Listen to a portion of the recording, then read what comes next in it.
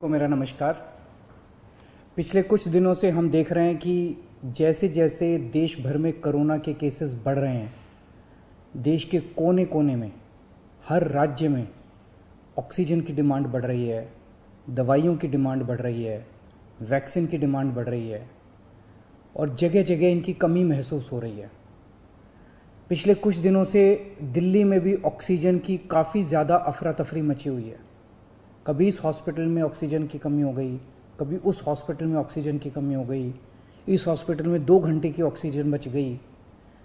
मैंने खुद रात रात भर अस्पतालों में ऑक्सीजन का इंतज़ाम कराने में गुजारी है कि कहीं किसी अस्पताल में ऑक्सीजन की कमी से कहीं मौत नहीं हो जानी चाहिए। केंद्र सरकार हर राज्य को ऑक्सीजन का कोटा तय करती है। देश भर में जितनी भी ऑक्सीजन बनती है केंद्र सरकार तय करती है कि इस राज्य को इतनी ऑक्सीजन मिलेगी, इस राज्य को इतनी ऑक्सीजन मिलेगी। अब दिल्ली को कितनी ऑक्सीजन चाहिए? दिल्ली सरकार ने अपना एक एस्टिमेशन लगाया, जिसके हिसाब से दिल्ली को रोज़ाना 700 टन ऑक्सीजन की ज़रूरत है। केंद्र सरकार ने हमारा कोटा कल तक 378 टन तय किया हुआ था।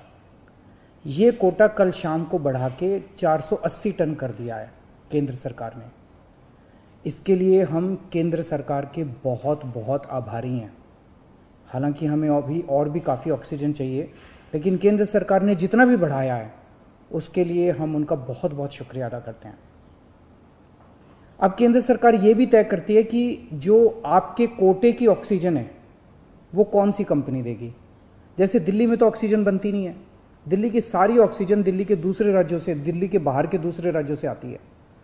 तो केंद्र सरकार तय करती है कि फलाने राज्य की ये कंपनी आपको इतने किलो ऑक्सीजन देगी, फलाने राज्य की ये कंपनी आपको इतने किलो ऑक्सीजन देगी, मान लो राजस्थान की ये कंपनी आपको इतने किलो देगी, हरियाणा की ये कंपनी आपको इतनों किलो देगी। तो केंद्र सरकार कंपनियाँ तय करती है कि किस कंपनी से दिल्ली को अपने कोटे की ऑक्सीजन आएगी। अब दूसरी समस्या यहाँ पे आ रही है कि ये जो कंपनियाँ जिन राज्यों में हैं, उनमें से कुछ राज्यों की सरकारों ने उन कंपनियों से जो दिल्ली के कोटे की ऑक्सीजन आनी थी, वो भेजनी रोक दी। राज्यों ने कहा कि पहले हम अपने राज्य में इस्तेमाल करेंगे, दिल्ली का कोटा भी हम इस्तेमाल करेंगे, दिल्ली के जो ट्रक हैं, वो जाने नहीं देंगे। लेकिन मैं केंद्र सरकार का और दिल्ली हाईकोर्ट का शुक्रिया अदा करना चाहता हूँ। पिछले दो तीन दिन के अंदर उन्होंने हमारी बहुत मदद की है, जिसकी वजह से अब ऑक्सीजन दिल्ली पहुँचने लगी है। जो जो दिक्कतें आ रही थी, हम लगातार पिछले दो दिन से एक एक मिनट टू मिनट मैं खुद, मनीष जी, मैं, हमारे सारे ऑफिसर्स, केंद्र सरकार के लगातार संपर्क में थे। परसों रात को मुझे याद है जब जीटीबी हॉस्पिटल में वहाँ का ट्रक एक पड़ोसी राज्य से चलना था, पर वो चला नहीं।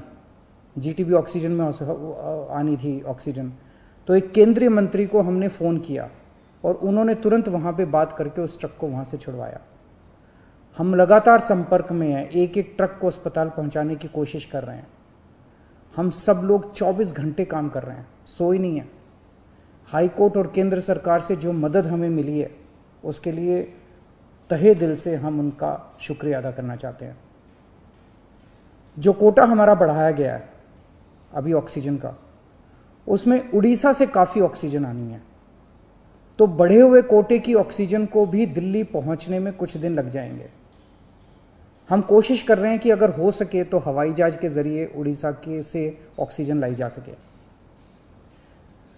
जब हमने लॉकडाउन लगाया था, मैंने आपको बोला था कि ये छः दिन का जो लॉकडाउन है, ये छः दिन हम आराम नहीं करने वाले। हम 24 घंटे काम करेंगे। इन छः दिनों को हम इस्तेमाल करेंगे दिल्ली के हेल्थ इंफ्रास्ट्रक्चर को और सुदृढ़ करने के लिए। इन छः दिनों में दिल्ली में जो ऑक्सीजन की कमी है, उसको ठीक करने के लिए, दिल्ली में जो बेड की कमी है, उसको ठीक करने के लिए। और हम 24 घंटे लगे हुए हैं दिल्ली के हेल्थ इंफ्रास्ट्रक्चर को और इम्प्रूव करने के लिए। इस लॉकडाउन के छः दिन जो हमें मिले हैं, इन छः दिनों में हम पूरी कोशिश कर रहे हैं। एक और बात ये बहुत बड़ी आपदा है। इस आपदा में अगर हम सारे लोग हरियाणा, पंजाब, तमिलनाडु, गुजरात, पश्चिम बंगाल इसमें बट गए तो भारत नहीं बचेगा। इस वक्त हमें एक दूसरे की मदद करनी है। हमें भारतीय बनना है। हमें इंसान बनना है। देश के लोग आज सभी न्यूज़ चैनल पे देख रहे हैं कि दिल्ली में आने वाला ट्रक किसी और राज्य ने रोक दिया। मध्य प्रदेश में जाने वाला ट्रक फलाने राज्य ने रोक दिया। ये तो ठीक नहीं है। लोग ये नहीं चाहते। देश के लोग आज ये देखना चाहते हैं कि दिल्ली ने किसी दूसरे राज्य की मदद कैसे करी। उत्तर प्रदेश ने किसी राज्य की कैसे मदद की। हम एक साथ मिलकर आपदा से लड़ना है हमें। तभी भारत बचेगा। अभी तो समय ये है कि उत्तर प्रदेश वाला दिल्ली की मदद करे, दिल्ली वाला हरियाणा की मदद करे, हरियाणा वाला बिहार की मदद करे, बिहार वाला गुजरात की मदद करे। हम सारे लोग अगर एक दूसरे की मदद करेंगे, तभी तो भारत बचेगा। और अगर इतनी मुश्किल घड़ी में भी हम सारे एक दूसरे से, एक दूसरे से लड़ने लग गए तो अगर भारत राज्यों में बट गया इस समय तो फिर भारत को कौन बचाएगा?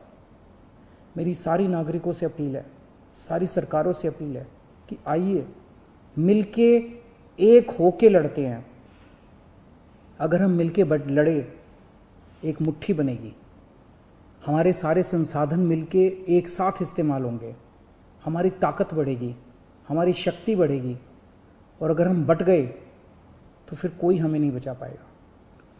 मैं सभी राज्य सरकारों से कहना चाहता हूँ कि दिल्ली का मुख्यमंत्री होने के नाते मेरे से जो बन पड़ेगा, मेरे हाथ में जो होगा, आप मुझसे मांगिए, मैं दूँगा।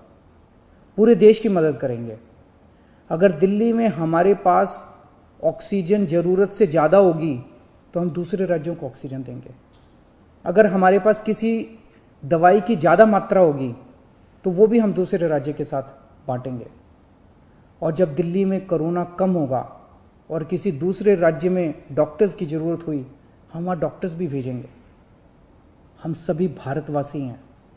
हम अपने देशवासियों की मदद करेंगे, सभी राज्यों की मदद करेंगे, क्योंकि ये बीमारी कोई बॉर्डर देख के नहीं फैलती।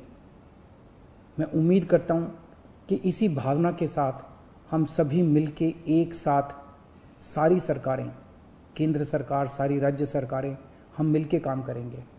एक भारत बन के काम करेंगे, कोरोना को हराने के लिए। हमें पूरी दुनिया के सामने दिखा देना है कि विश्व में सबसे ज़्यादा कोविड केसेस भारत में होने के बावजूद कैसे भारत के लोगों ने, यहाँ की सरकारों ने मिलकर कैसे इस आपदा से लड़ाई की, कैसे हमने सारा प्रबंधन किया। भारत के लोग दुनिया को दिखा देंगे कि कैसे एक साथ मिलके इस खतरनाक बीमारी को हमने हराया। जय हिंद।